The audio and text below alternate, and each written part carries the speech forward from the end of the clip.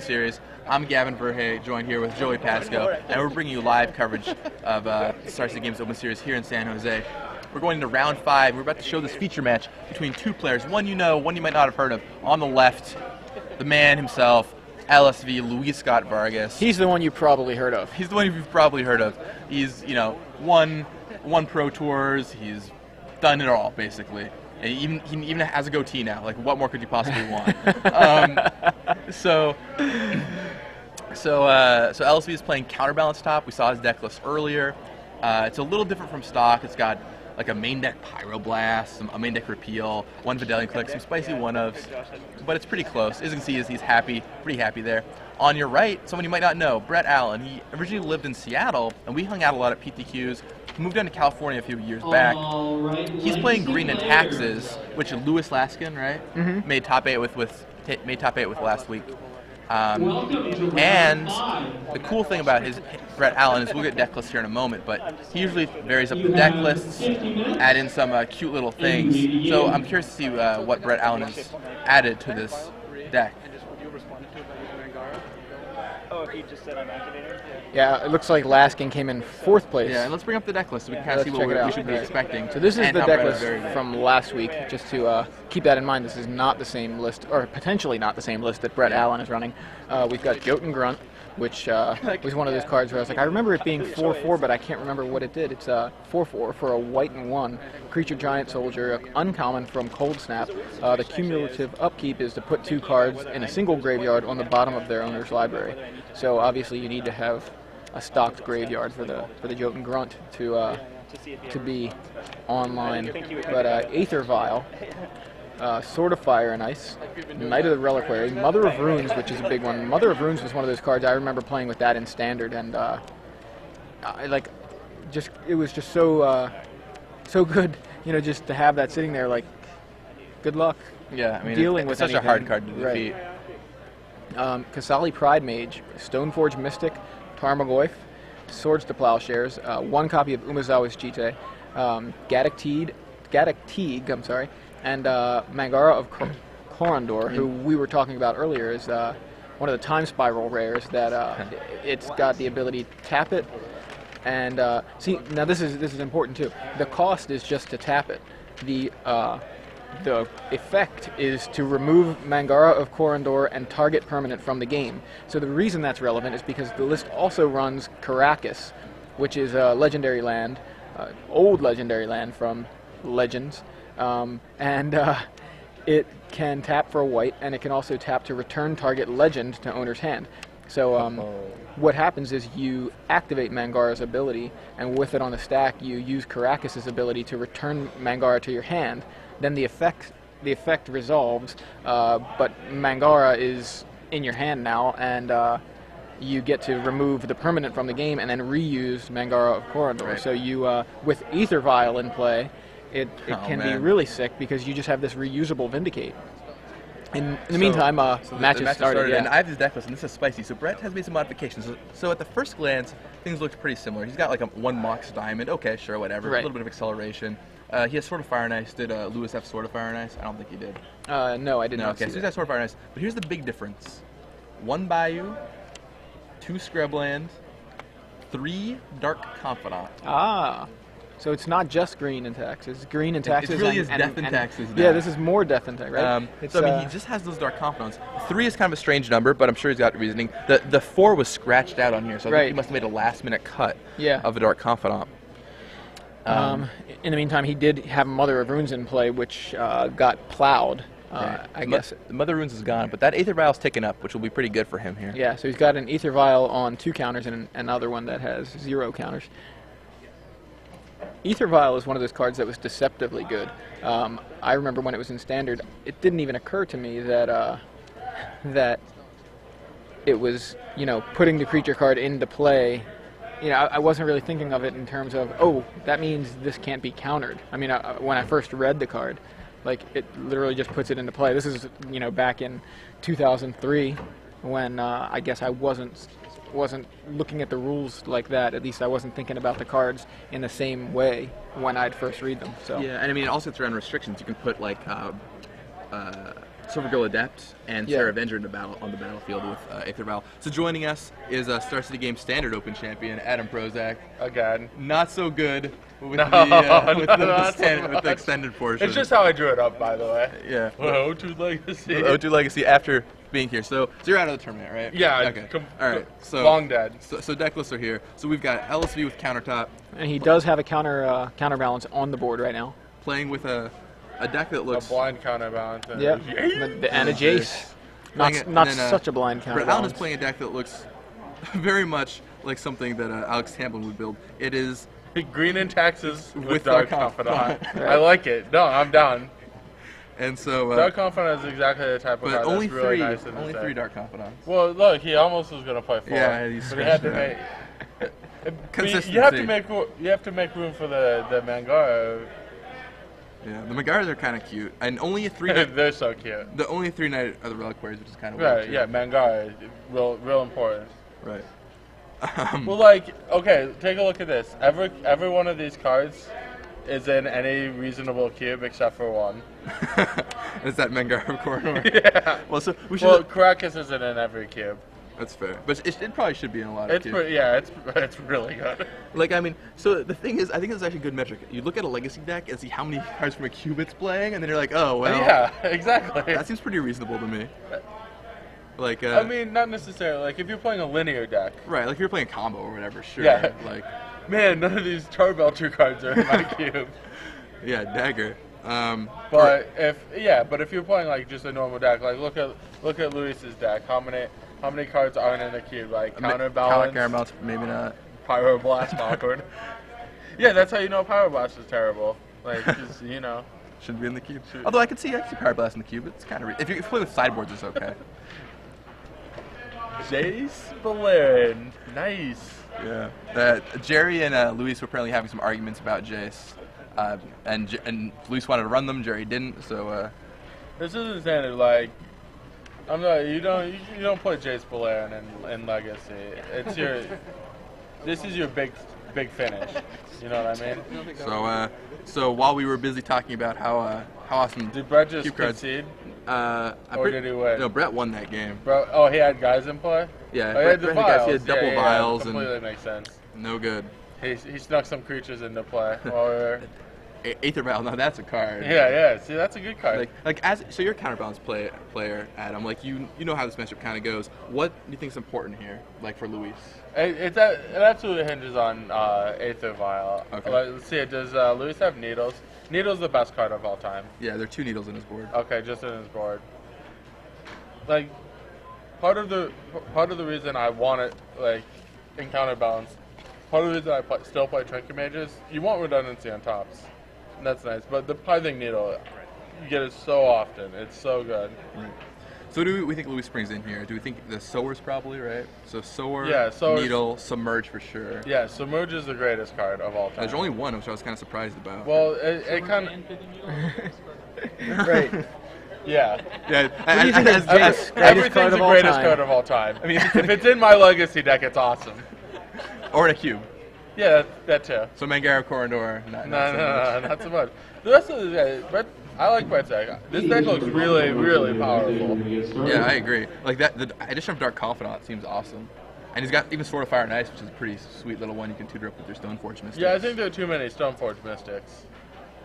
I'm not a huge like equipment's just not all that good in Like I mean, I'd play the Jitte, sure, or I'd be fine just maybe cutting the Mystics and just jamming Jitte, right? Like you don't Yeah, even need them. that's fine as just well. adds plus two to your Jitte cost. Um, right.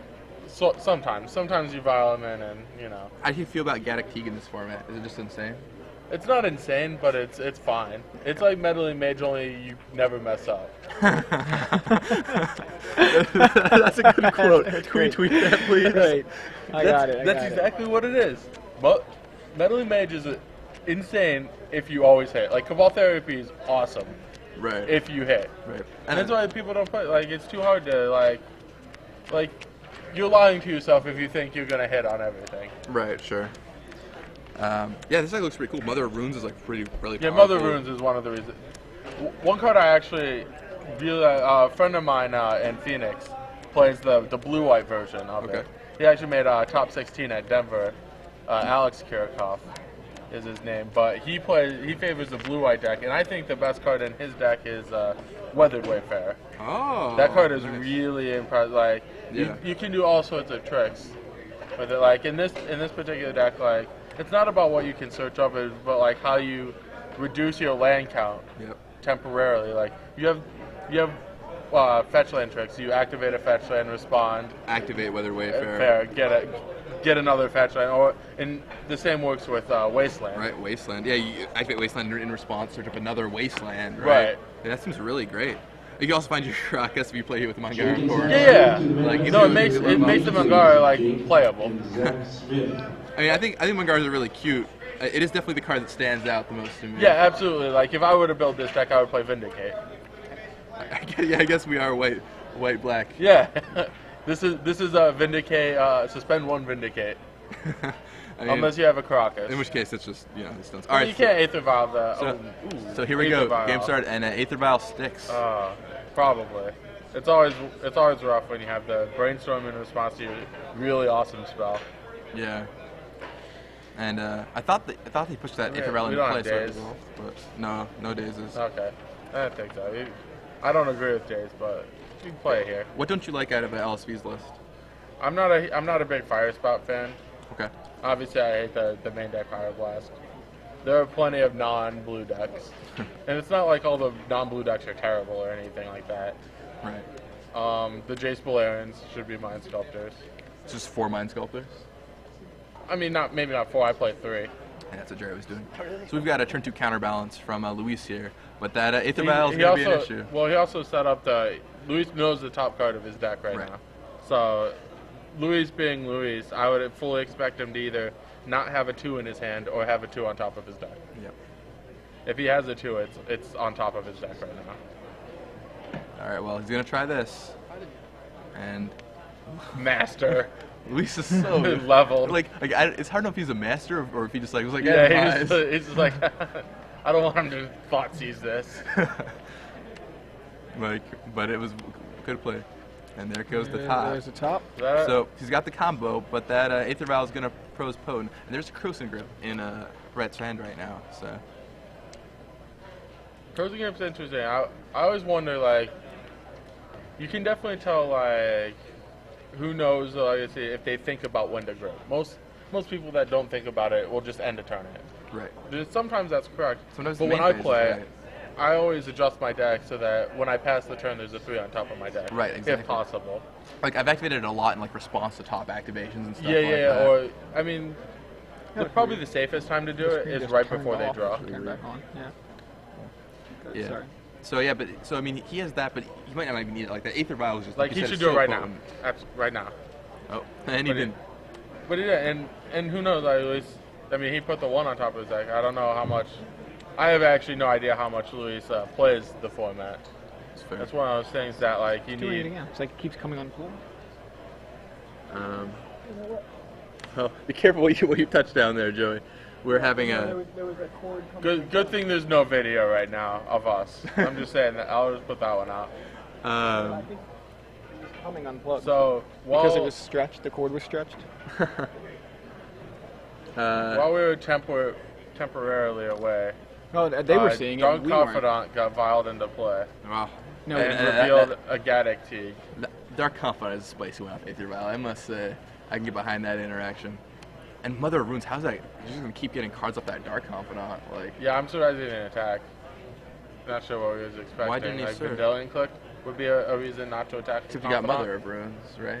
But like you don't want him to get like combo like fire spouted. Sure. If maybe maybe uh maybe Brett's of the uh, opinion that if he just takes forever and just milks his cards, Yeah.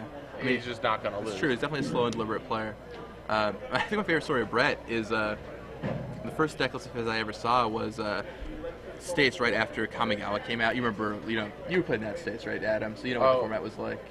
It was like there was Affinity and there was like some Death Cloud. Oh, yeah, and, okay, yeah, like, yeah. Like Kodama's Reach was like your favorite card ever. Yeah. And uh, so I look at, at his top eight deck list. He wins States, and it's like all one ofs. Like just literally, there's like 31 ofs, maybe 20, 31 ofs. It's insane. And so I finally get down and I see, oh, Gifts Ungiven, that makes sense. Like, he's getting one ofs. And I look, one Gifts Ungiven. So it's just, you know, draw the right cards at the right time. And Brett's always one for modifying decks, playing uh, spicy one-ups in his creations. And uh, these are confidants are looking great. Like it's a really nice addition. That's not that's not necessarily like a, a creation. Ooh, that's a Oh, ugh. Man. He's just asking to get blown out by fire spout here. Yeah, Oh, here it is. that's rough. Oh, okay. He has a Crocker, so there's no no harm, no foul. fair. All right, that's legit. Yeah, I'm okay. Good thing he had So, that uh, And there's Tarmogoyf though to create some problems. That is actually going to create a, quite a few problems. That guy's big. I've only had. Oh, is, you can use him on is Gara Portal here. Though. not played his top yet? I don't see a top anywhere where it should be. He might be on top of his library right now. yeah, I think so. Or, Oh. he- or might have had to tap out last turn to go. Uh, I think he, he put it on top of his library at some point. He had to go Fire Spout Tarmogoyf last turn. Oh, he felt like he needed time to go fire. Yeah, because uh, with the Aether Vial, I don't know how relevant okay, that's going to be. that makes sense. So uh, Allen fetches Like here. uh, Luis.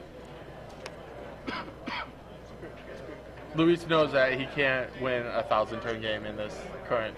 Right. I don't know if he has. He, sh- he should know to bring in uh, Needle. I would think so. Like, Just so you know. Yeah. Yeah. So yeah, that, that Aether Vial comes. It's going to be really strong here. Yeah, Aether Vial is one of those cards that like it just uh it gets right around countertop. It, it invalidates most of the card, cards in Luis's deck. Like like I know in Merfolk that's huge too, right? Like Aether Vial in the Merfolk yeah, that's matchup that's is- how I lost every game. Yeah. I- all four of them I played today. So Did here he goes Merfolk using the twice? vial yeah, I to played play the Merfolk, Gaddock uh, Teeg so again. he's- Yeah, he's, he replays the Gaddock Teeg off of Aether Vial. Meanwhile, then uh, Krosan Krosan grip grips on the the counterbalance. I, He I flips don't top for value. Yeah. Uh, Oh, wow. Wow, yeah. Then That's swords to plowshares on So, the yeah, Brett's definitely back in the driver's seat. Yep. And, Luis had a s- yeah, Luis had a strong turn on his, but yeah, and that Aether but Brett just came right back. that Aether Aether is just going to keep doing work. yeah, I'm I'm trying to think of like what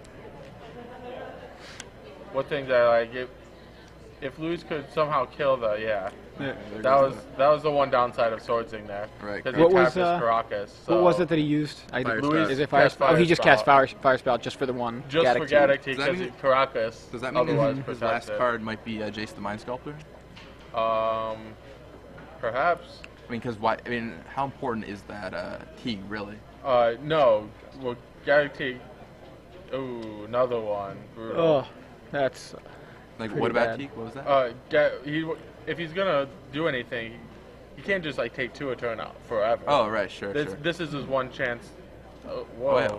So. There he goes. Oh, that's there how he lands Yeah, the Jace. so yeah. So it was He uses Jace. swords to I'm like, that sword is really curious, except Yeah, he- for Except for solving Jace the Jace Mind seems okay. Sculptor. And now Vial's tapped, so we can't even a Vial on a guy end step and be like attack. right. Right. So yeah, see, he he used the swords of plowshares, targeting the So uh, Luis is going to get two brainstorms at least out of this. targeting the Gaddock Teeg, and then uh, Allen had to use his Karakas to return the Gaddock Teeg to protect it, and uh, that gave Luis Scott Vargas the window he needed to land Jace the Mind Sculptor.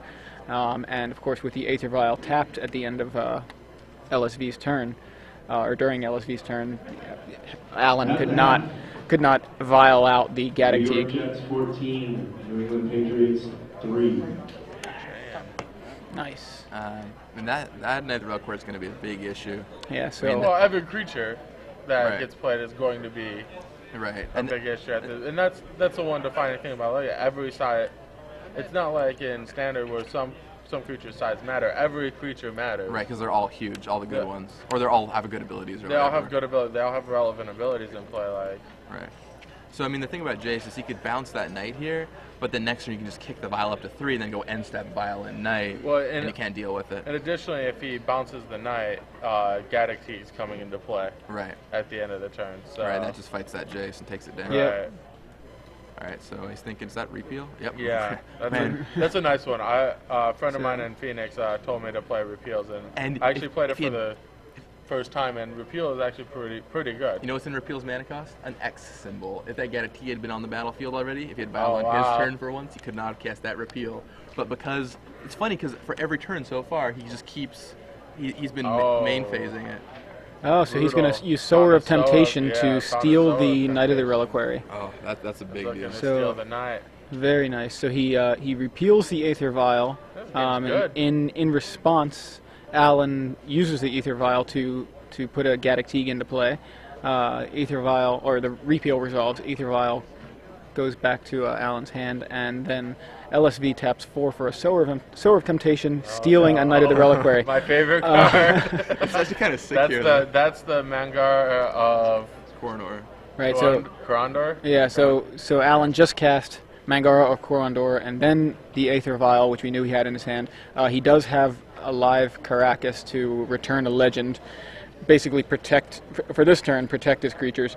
But Also- once that Mangara is active, he's got that that combo kind of online and Aether Have you Vial guys gone over the combo ticking yet? up. Yeah, we talked a little bit about it, yeah. So the Aether Vial ticks up to Yeah, three it's a and relatively eventually. new development and. Yeah. I mean, I remember doing this back with Momentary Blink and Time Spiral block. Right, right, right. It's the same same Yeah, concept. so basically, for those who are just tuning in, what you can do is Mungar of Corondor says tap colon remove Mungar of Corondor and target permanent from the game. But because uh, it's in the resolution instead of the activation, you can use Mungara on something, return it with Karakas, and then the rest of the ability will resolve and remove something. So Mungara is in your hand, and their guy is gone. You can hit lands whatever you want. Yeah, it's target Hit permanent. It's a it's a reusable Vindicate. Yeah, of course, resetting that that uh, vial was huge because now he has to risk casting it every turn. Oh, that fire spout is quite the beating, So and that there Knight is- of Reliquary is huge for Luis. Yeah, there's a fire Also- spout from LSV. That's fire spout number three this game. Yeah. Yeah, and is. this gives uh, Brett the option of saving. I'm pretty sure saving your uh, Mangara is correct.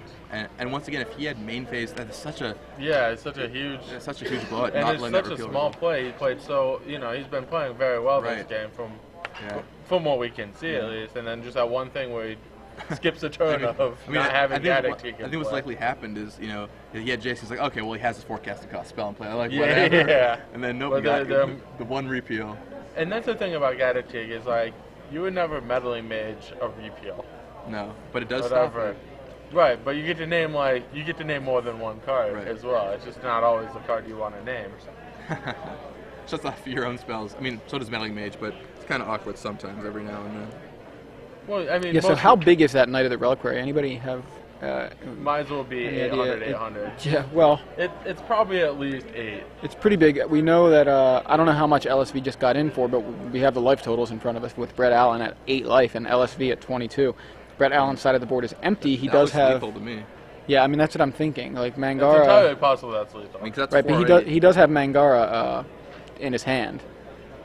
Now, Yeah, I mean, that's not whether or not it trump, but resolves, That's help. That's what I'm saying. Whether or not it, it resolves, so so is he? Uh, Not gonna lie, I might have wanted to vindicate right here. Vindicate that well, I mean, there's counterbalance Although- on, on the board. So Yeah. why did he? How did? Why did he let that resolve without even Lu- Lu- activating counterbalance? I'm sure Luis knows. his Oh, he knew what the cards. top was. That's right. So he, he just lets that resolve count as the next one. He's gonna bounce the Mangara with Jace. And then that should be good. Right. Or, or dirtle around a little more. I One of the two. It's possible Knight isn't lethal yet.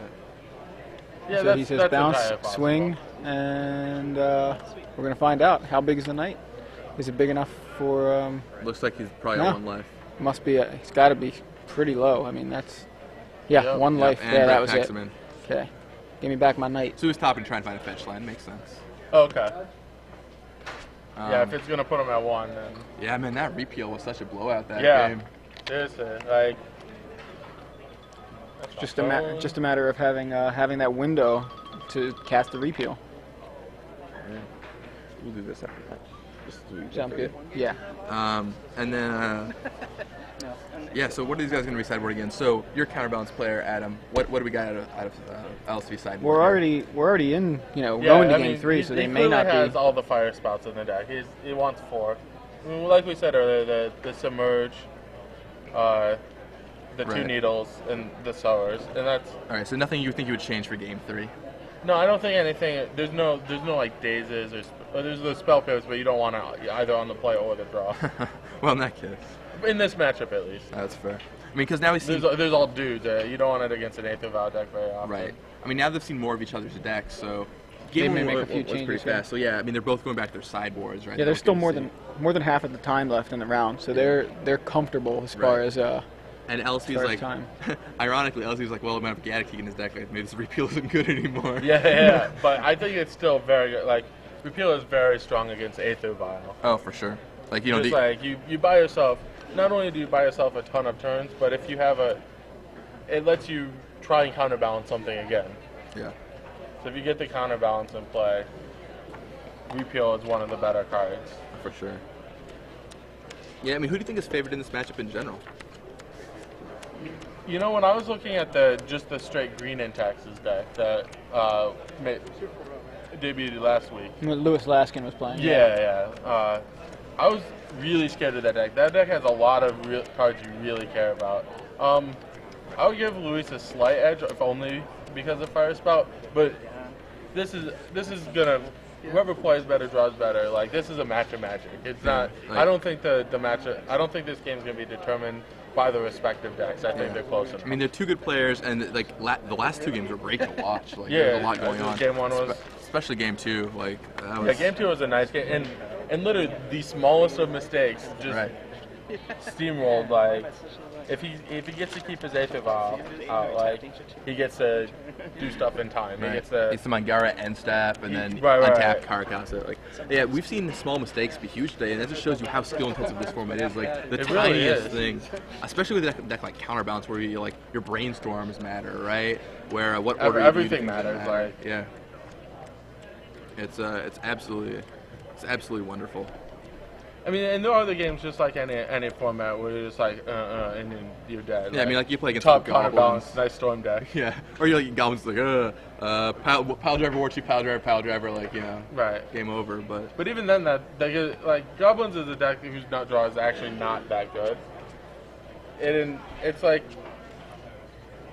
it, it's an overwhelming advantage type of deck. It's Right. not it's not a deck that tries to like nut draw you. Sure. All right, so the players have kept, and uh, Vile again. Vile on turn one. Luis.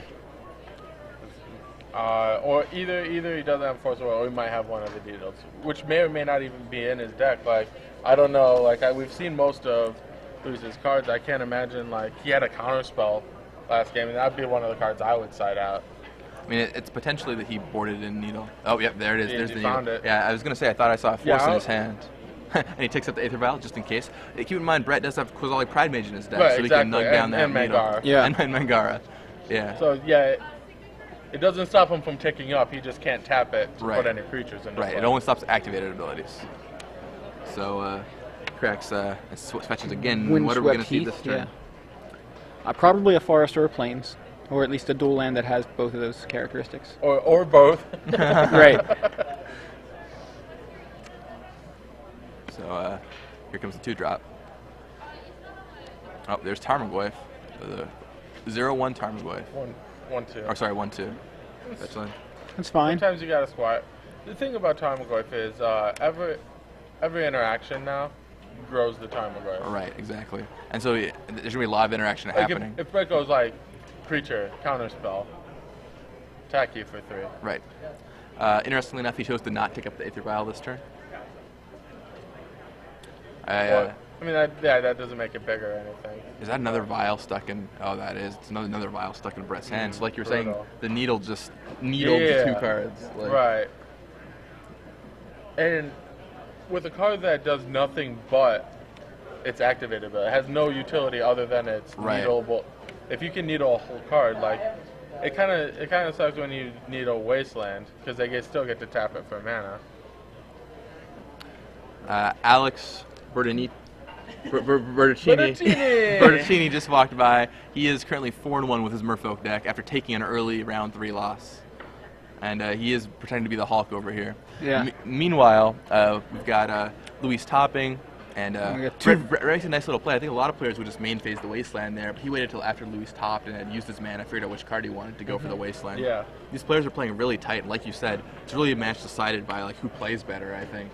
Yeah, like if if Luis uh, if Luis is like on the assumption that oh like you know Brett really needs his mana like and Might just stack his cards. might just stack the cards wrong might put a three drop on Oh, is top, that counterbalance? or the wrong Oh. la- not put a land on top. There it is, counterbalance. So we've got counterbalance top and then uh, pithing needle on That's- Luis's side, which is named That's uh, Aether three. Vial, right? He's, Yeah. he's so those those Aether Vials, you know, they're they're sitting there, but they can't do anything. Man, Pride Mage has to resolve this. Luis, On, is, uh, Luis is a huge favorite. Right. now. At the moment, it looks good for for Luis, Uh, but uh, Luis put that together.